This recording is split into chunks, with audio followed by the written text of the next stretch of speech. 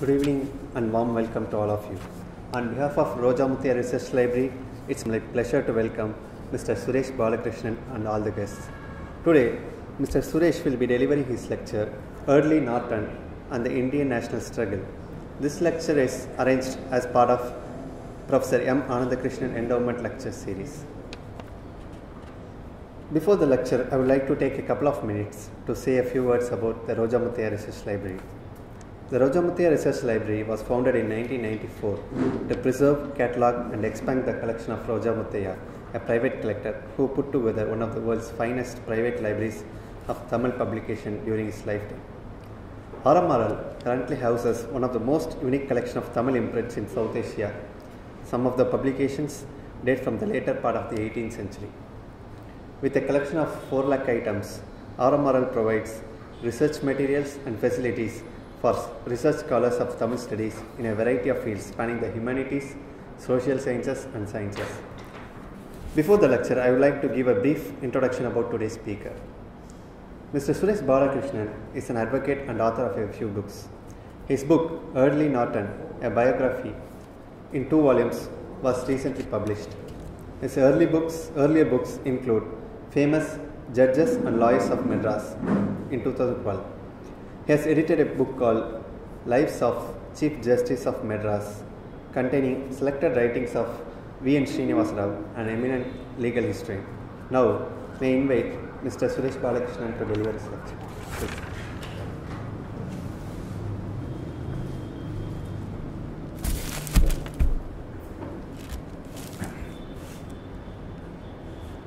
Ladies and gentlemen, it's an honor to be invited to give this uh, Professor Ananda Krishnan Endowment lecture.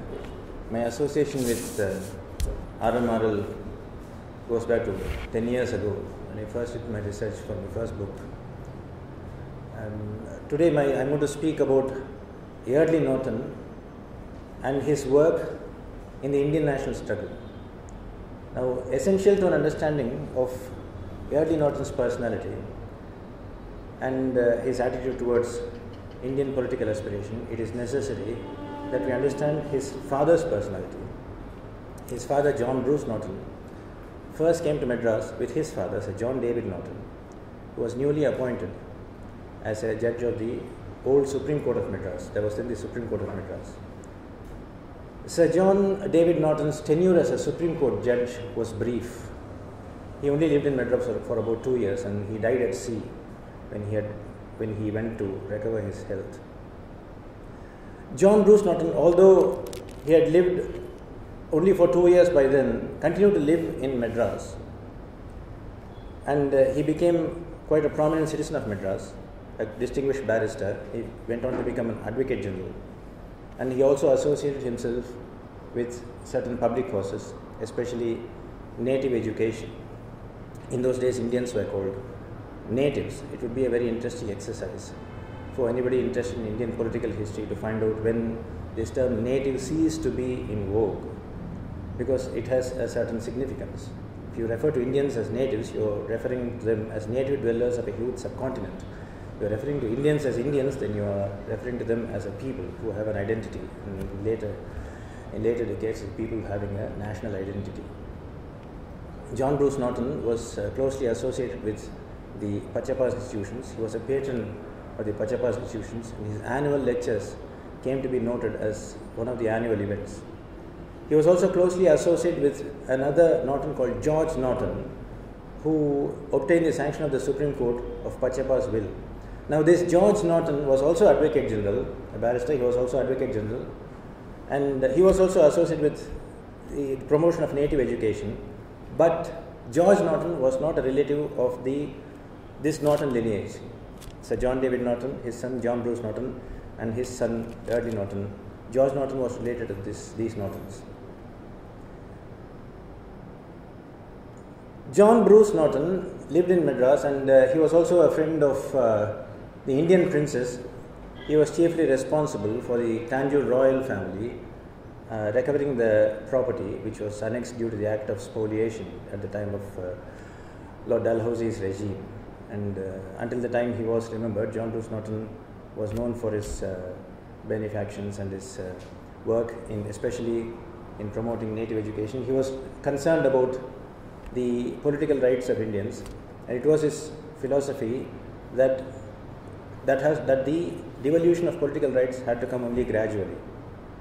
We must sow, time must ripen, posterity must reap, he said in one of his Pachapa's Uh, institution lectures. And that sowed the seed for his son's, his eldest son, Eardley Norton's political philosophy. Eardley Norton was born in Madras on 19 February 1852 and he lived in Madras for 10 years. And then in 1862, he and his brother Robert were sent to Brussels for education, for, to start their school career. He didn't undergo formal schooling until the age of 10. And from Brussels, Eardley Norton went to Esher in England, and from Esher he went to Rugby, a famous public school in England, where the four years, four years he spent gave him uh, some of the happiest memories to cherish. And from there, he went to Merton College, Oxford, from where four years later he graduated as a Bachelor of Arts. And then he worked for a while in London as a journalist. During that time, I was called to the bar at Lincoln's Inn, and uh, he started practicing as a barrister in England, in Oxford Circuit. And he was also his father's junior in a few cases before the Privy Council. The word junior, in, with reference to barristers, is not understood in the same way as a junior is understood in, in, in India. He was not a junior in the sense that a junior uh, helping a senior, a junior barrister is a junior who is instructed with a senior, he gets a proportion of the fees given to the senior counsel. His English career, his, uh, his career at the English bar failed to take off, and that was also the time when this was about 1878 1879 that was also the time when he got married and uh, he became a, the father of a son. And uh, he had to he was compelled to make a living. And his father john bruce norton urged him to go to madras where once john bruce norton was uh, advocate general and uh, by this time I must, I must have told you before that by this time john bruce norton had returned to london he wound up his residence and practice in india and uh, gone back to london and he was practicing before the privy council and he urged his son Eardley Norton to go to Madras, and where the father's name might help him get speedy work. So, reluctantly, with a heavy heart, Eardley Norton left all the near and dear ones, what he called home, and came to Madras. He, he, from the way he felt at the time, he was not returning to Madras, but going away to Madras. Madras was a kind of foreign land near alien place because he only had some childhood and early boyhood memories of this city. Although this was the city of his birth, he felt no special affinity for this place. It is not even right to say that he was disoriented because you can't even say any kind of orientation had taken place. So reluctantly, aboard the a ship called Navarino, he sailed for Madras and reached Madras in July 1879. No sooner than his arrival, he entered the Madras bar. Next year, he became coroner of Madras. The scope of today's speech forbids us to look deeper into those activities. The early years at the Madras Bar, his work as a coroner, and uh, during that period when he was a, the coronership was a part-time employment, so he occupied his mornings and evenings and lived the rest of the day for his practice at the bar. He was a rising barrister in the early 80s until 1886. During that time, uh, national movement, which you all know called the Indian National Congress, was started in 1885 in Bombay. And uh, Norton was not one of the first members or founder members of the Congress. If anywhere you read, read on the internet that he was one of the founders, it is incorrect information. He first joined the Congress in Madras in 1887. And the Madras Congress of 1887, it, it was but natural that he was attracted to the Congress because he had inherited his, uh, his political philosophy, the attitude towards Indians and their political rights from his father. Uh, and in the 1887 Madras Congress, he spoke on the second day. That Congress, in his story, is memorable for two reasons. Someone had called him a veiled seditionist for associating himself with the Indian National Congress, and he gave a strong rebuttal to that charge on the second day while speaking in support of a resolution for the reform of the Indian legislative councils that veiled sedition speech is a very popular, that passage is very popular. In fact, probably the most quoted of all his utterances And uh, anybody who has heard, heard of Norton might have come across that passage. If it be sedition gentlemen to rebel against class tyranny, etc. And the Madras Congress of 1887 is also memorable in his story for another reason. He gave a famous garden party to the delegates and other guests at his house called Dunmore House. Now, Dunmore House was located in a place which is now called Alwarpet, but in his days, the word Alwarpet you don't come across anywhere. It is either referred to as located in Luz or in Thenampet. Probably the name Alwarpet had not come into vogue in those days. It was quite a big garden house, and there on 29th December 1887, to the guests, uh, he gave a exquisite party. He had arranged a Kolatam dance by Nautch girls, and uh, oil lamps illumined the roadways and pathways leading up to the venue. And uh, some of them watched spellbound the dance that took place, and some of them found literary repast in his vast library.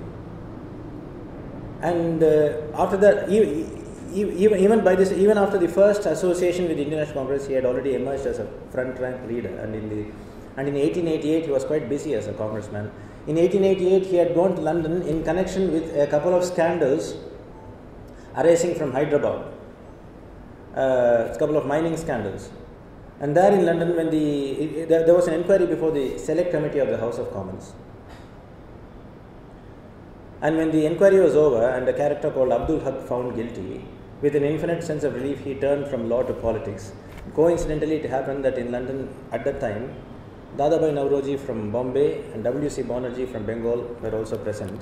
And these three congressmen, Norton from Madras, Naoroji from Bombay, and Banerjee from Bengal, they met and decided to start a campaign in England for India's political rights. Now, they thought it out themselves and started it themselves. No resolution was passed in the previous 1887 Madras Congress appointing them, them or any other congressman to undertake the campaign. And in this campaign, Norton addressed a few gatherings in different parts of England. And uh, during this campaign, when Banerjee and Norton were in Newcastle, they went out for a walk on one evening and uh, they found huge placards announcing that Charles Bradlaugh, then in Parliament, would speak at the music hall on India. That was not the first time Norton had seen Bradlaugh. He had earlier seen him about 10 years ago, before the, in the, when Bradlaugh and Annie Besant defended themselves in what is known as the Fruits of Philosophy case. The Fruits of Philosophy was a pamphlet published in America advocating contraception. And Bradlaugh and Annie Besant had reissued copies of it in England. That created a furore. And uh, they were indicted before the King's Bench. And Norton, at the time a newcomer at the English bar, had watched those proceedings and he was favorably impressed by Bradlaugh's performance defending himself. And now, in 1888, that evening, uh, Norton and Banerjee went to music, the music hall and heard Bradlaugh. And uh, as these two people were the only people with tall hats, as you all know, the Victorian men used to wear top hats or tall, ha- tall hats, and they, they stood out and they were given places on the platform on either side of Bradlaugh. Bradlaugh spoke. Norton Banerjee spoke after that, and Norton was fully impressed with Bradlaugh's sincerity and his uh, concern for India's political rights that when he came back to London, when Banerjee and Norton came back to London and met uh, Dadabhai Naoroji, it was Norton who mooted the idea to his Congress colleagues that they must enlist Bradlaugh's support for India. Now, in hitherto published books on the Indian National Congress, this is something which you will not find. It is well known that Bradlaugh championed India's cause in the House of Commons. That much is quite popularly known, I think. But it is not so popularly known that it was Norton who mooted the idea to his Congress colleagues. And then later that year, he returned to Madras and uh, he gave public speeches recounting their campaigning experiences. The, the closing parts of um, 1888 also witnessed the uh, speech given by uh, the retiring Viceroy, Lord Dufferin, which created quite a sensation in a speech called the St. Andrew's Dinner Speech in Calcutta. And he made scathing remarks about the congressman's aims and methods and it is uh, a very well known part of the history of, early history of the Indian National Congress that Norton retorted to those remarks in an intrepid open letter to the retiring viceroy. And later, in, in December 1888, Norton attended the Congress held at Allahabad and there he moved the public service resolution. This question had been occupying the attention of the congressmen from the beginning. The first Congress of uh, 1885 passed a resolution, and the resolution which uh, Norton moved in this 1888 Congress demanded that simultaneous examinations should be conducted for the civil service in both England and India. In this regard, I would like to uh, draw to your attention that uh, during the course of my research, I found one very interesting argument, which I didn't make a note of actually, but I don't, I didn't include it in the book. Very interesting argument raised against this proposal. One of them said that uh, if you hold simultaneous examinations in both England and India, taking advantage of the time difference, the students might telegraph the question paper. so this is one of the arguments against that proposal. And, um, Norton moved that resolution, and uh, an amendment was moved by Monomohan Ghosh, a Calcutta barrister and a good friend of Eardley Norton. And this amendment had a, has an amusing little backstory. On the day previous to the day when Norton moved the original resolution, Motilal Ghosh, the editor of Amrita Bazar Patrika, had strenuous objections to Indian students being sent to England for a two years training, even if the simultaneous examinations were to take place. And uh, therefore, Monomohan Ghosh was asked to move an amendment. Norton happily withdrew his original motion, and uh, the amended resolution was carried unanimously. There also was a very interesting Raja Shiv Prasad incident in the 1888 Congress, but today let's not go into it. The, when the 1888 Congress was over, then it was a very notable sitting in Norton's uh, memories. And uh, in 1889, in the in the in the preceding parts of 1888, 1889, before the Bombay Congress, Norton became a Madras Municipal Commissioner. And the 1889 Congress, which was held in Bombay, is remembered as the Bradlaugh Congress because Charles Bradlaugh, in his first visit to India, had attended that Congress. And uh, from the point of view of Eardley Norton's contributions to India's constitutional development, this Bombay Congress of 1889 must be regarded as the most important of all the Congress sessions he had attended. Because it was in this Congress that a scheme was adopted which later metamorphosed into the Indian Councils Act of, Act of, 1892. That scheme was the Madras scheme, and what is not so popularly known, what is not so often, or what is hardly mentioned in hitherto published books on the Indian National Congress, is that that scheme, the Madras scheme, was prepared under Norton's leadership in Madras.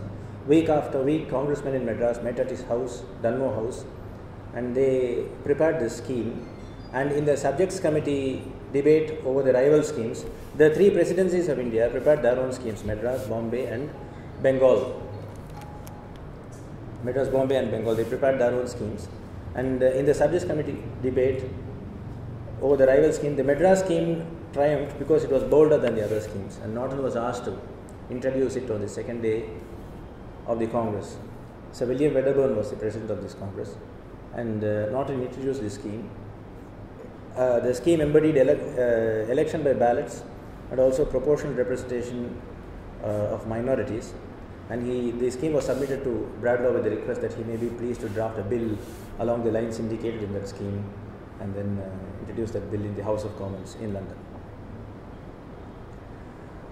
Bradlaugh spoke on the last day and he was very guarded in the promises he made, but then, true to his word, he uh, drafted a bill.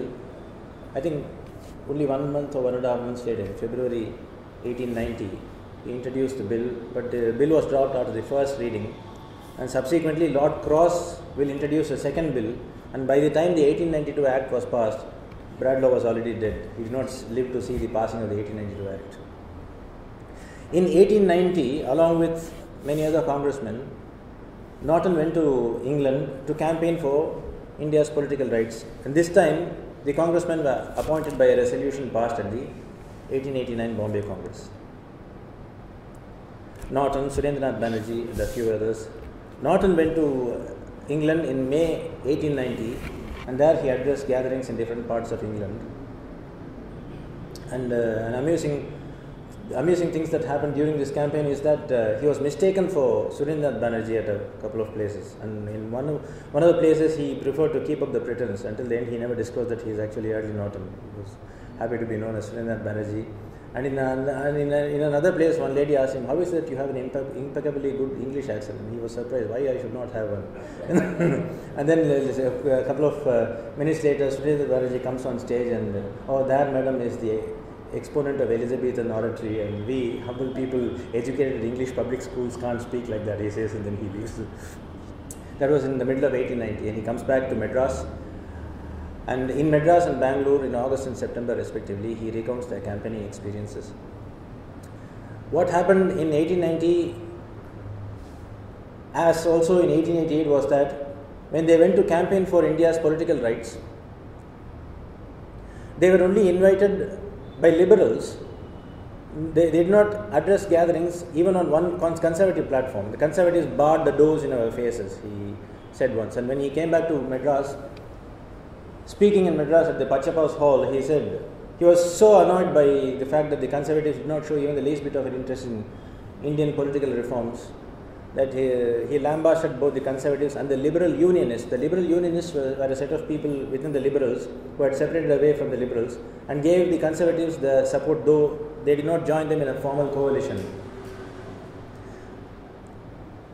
So, while speaking in Madras, uh, recounting the campaign experiences, someone had called the conservative the stupid party. Time has not loosened them from that reproach. They have become stupider than ever, he said. And then he also uh, described the liberal unionists as monstrosities. Now, at this time, Gopal Krishna Gokhale was a rising barrister and rising congressman, sorry, rising congressman, and uh, in later times he would become practically the leader of the moderates. He was he was really annoyed by Norton's utterances. From Gokhale's point of view, the Indian congressman should strive to appeal to both the liberals and the conservatives. And this kind of uh, this criticism from Norton had the capacity of creating a party split in England. And from Gokhale's point of view, the party split in England, if it happens, will not augur well for Indian political aspirations. So he wrote in Sudharak criticizing Norton's actions. But Norton spoke as one who was, whose efforts to appeal to the conservatives had entirely failed. Uh, but what Gokhale had pointed out was his tactical ineptitude. And when the uh, in 1890, after the campaign in England, for some reason which I don't know, Norton did not attend the Congress in 1890, 91, 92, and 93. The next Congress he attends was the Congress of 1894, but uh, 1894 was a harrowing year for him. He had got involved in an adulterous affair with the wife of a coffee planter in Coorg, and that uh, devastated his political career. He was compelled to resign the seat, a newly won seat in the Imperial Council in Calcutta, uh, having been elected there too by the non-official members of the Madras Legislative Council. That was in the former half of the of the year 1894. And uh, towards the end of the year, there was stiff opposition from various quarters to his attendance and speaking at the Madras Congress. But despite that, the congressmen in Madras were entirely in his favor. So he was, he was elected as a delegate. And when the Congress was in progress, once again opposition came to speaking in the Congress from the members of the what was called as a social purity movement. First, there was this objection from a person called R. Venkatratnam, and on the day when actually Norton was asked to move a resolution, objection came from a person called Miss Mueller of the Zenana Mission. Both of them were not allowed by the President Alfred Webb to move their amendments, and they were not even allowed to speak. And Norton spoke. He held the audience spellbound by a speech demanding the abolition of the India Council in Whitehall. The India Council in Whitehall uh, policy advisors uh, and uh, they wielded enormous influence over Indian affairs. And Norton wanted them abolished because they were spending huge sums of money at India's expense. Uh, there was then the drain theory propagated by Dadabhai Naoroji. Norton was one of the proponents of the drain theory. He wanted the India Council to be abolished and replaced by a committee of the House of Commons. So, from his point of view, the power centers then controlling India would be reduced from three to two namely the British Parliament and the Indian government, the British government in India. And if uh, Indian affairs come directly under the purview of the British Parliament, he was uh, he found that a better option than this uh, this India Council. It's a spellbinding speech. If, speech. if you get an opportunity to read the entire text, you must read it. And uh, even after the end of this uh, Congress, the uh, this um, this rumpus that happened during the Congress continued to engage public attention. There were a lot of letters sent to newspapers. R. Venkatratnam and Miss Mueller, who were, not, were denied the opportunity to speak at the Congress, ventilated their views by letters to the press, which was published. And uh, the whole, the lamentable series of events so affected Norton that a few months after the end of the 1894 Congress, he resigned from the Indian National Congress, much to the disappointment of his many political admirers. He feared that uh, his political enemies were trying to use him as an excuse to injure the movement, and in later times, he gave freelance support to the Congress from outside. And he never reconsidered the decision. The only exceptional occasion when he attended a Congress gathering after this resignation in 1895 was the 1903 Madras Congress. He probably attended in deference to the request of his Congress friends in Madras, and even then he only spoke on the first day in commendation of the President Lal Mohan Ghose, who was the brother of Mohan Ghose, the Calcutta barrister I earlier referred. And by this time, by 1903, Mohan Ghose was already dead. And uh, Norton, while speaking in, uh, on, the, on, on the first day uh, in support of the proposal to amend Lal Mohan Ghose as the president, recalled fond memories of his uh, dear departed friend. After the resignation in 1895, for a couple of years, Norton was in political wilderness, and then uh, he uh, he entered politics once again, and though only local politics, by his election to the Madras Legislative Council in 1899. He was re-elected there to two years later, and then retired there from in 1903. And then a couple of years later, he moved to Calcutta. He lived in Madras only until November 1906. And he shifted his practice and residence to Calcutta. And uh, this was the time after the partition of Bengal in 1905. India was passing through a turbulent times, the Swadeshi years, and there were quite a number of revolutionary activities in Calcutta. And you all know the Alipur bomb case, which went on in Calcutta from in 1908 to 1909. Norton led the prosecution. What is interesting is that who was once a liberal, who was once fighting for India's political rights against the British, now he was on the British side as a prosecutor for the crown against the revolutionaries. Uh, when looked superficially, it might uh, appear as if he had undergone a transformation, as if there was an inconsistency, but no. He had always been a, he never ceased to be a liberal. He had always been a liberal. He himself declared once that he was a liberal and a radical. And this uh, extremist revolutionary kind of patriotism was anathema to him. And uh, he always advocated the more liberal method, and he was a supporter of the moderates method because moderates were only liberals. The word moderates and extremists were not really in vogue during the time when Norton was a member of the Congress because there were no extremists, there were no moderates, and later those who were liberals came to be called moderates.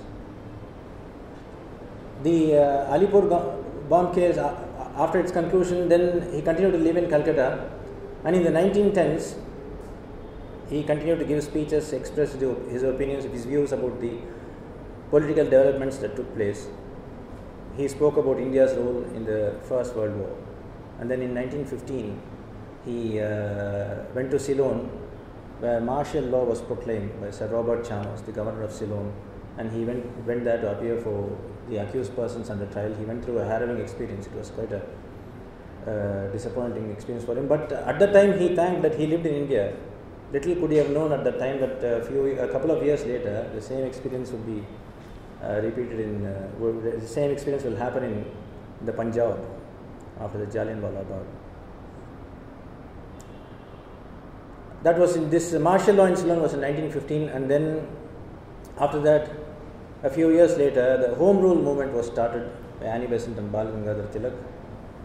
Norton declared that he was not a votary of Home Rule. In fact, he even confessed that he could not understand what was meant by the term Home Rule some of them said, uh, the A.C. Mazumdar once said that home rule, Swaraj, or uh, uh, autonomous self, autonomous independence, whatever name you call it, meant the same thing. But from Norton's point of view, dominion, home rule was akin to dominion home rule, as that in Ireland after the First World War.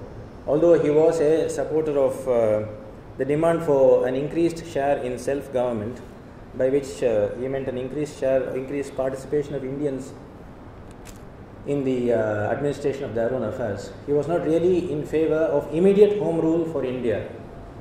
he was all for uh, dominion home rule as an ultimate aim, but uh, the demand for the granting of immediate home rule he was not in favor. So he opposed that home rule demand, and then uh, you all know in 1919 the Jallianwala Bagh happened, and then uh, martial law was proclaimed in the Punjab, and Norton was denied the opportunity to go to the Punjab to Lahore to defend Kalinath Roy, editor, editor of the Tribune, and that gave him a profound disappointment. In fact, uh, the series of events starting from the closing parts of 1918 until the middle of 19, 1919 gave a profound disappointment with the British statesmanship in India, as it must have been, as, uh, as it must have given disappointment to several others. It was a decisive uh, shift in trend that period was in British Indian history. It was also the time, one year later in 1920, the death of Bal Gangadhar Tilak literally coincided with the inauguration of the non-cooperation movement by Gandhi. And uh, Norton was uh, an opponent of this uh, Gandhi's methods. He fully appreciated Gandhi's sincerity, but he vociferously criticized and denounced Gandhi's methods of non-cooperation. And he spoke and wrote about it quite often. Until the end, he, then after 1920, he, in 1920, he was elected by the non-official Europeans of Madras to the Central Legislative Assembly, where his attendance was brief, and then he went back to England on doctor's advice. He started suffering something related to his head at that time. He went, he went to England on doctor's advice. He returned to India. He resigned his seat in the Central Legislative Assembly, and then he lived in retirement in Kodaikanal for a couple of years. And in May 1926, he left India and returned to England for good. Even at that time, he, he expressed his views about Indian affairs and uh, appealed to Indians to uh, not resort to such methods as non cooperation. For, from his point of view, cooperation was important because cooperation was key to implement the Morley Minto reforms which uh, appeared in 1909 and then later the Montagu Chelmsford reforms which came in 1919. To implement those reforms, cooperation was key and uh, the vital difference between him and the extremists were the extremists were uh, impatient for change, while because he was a liberal, he uh, wanted change to come, but gradually. Uh, and here, once again, it is necessary to remind ourselves of the words spoken by John Bruce Norton at the Pachappa's Institution. Um, we must sow, time must ripen, posterity, posterity must reap. And that was the basis of Norton's outlook towards, Eardley Norton's outlook towards Indian political reforms or aspirations. Having returned to England in May 1926, he lived uh, peacefully in Kent for about two, for, for, for five years and breathed his last on 13th July 1931. And uh, for his services as a congressman, he is remembered as one of India's greatest friends. And uh, at the bar, he was known and is remembered as perhaps the greatest advocate in jury trial advocacy. Uh, thank you very much.